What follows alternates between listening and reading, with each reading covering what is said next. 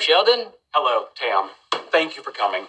I just want you to know that, um, I forgive you.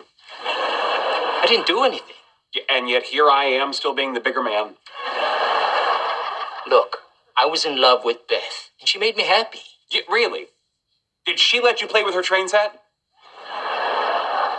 In a manner of speaking.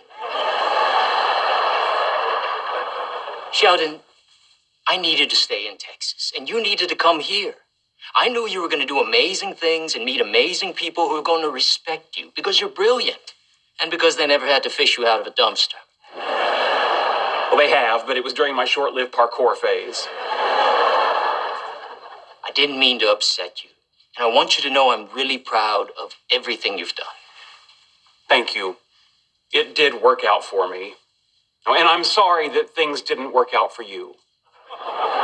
They did work out for me. Oh, Tam, you don't need to be brave on my account. I'm not. I have a great wife and amazing children. I'm very happy.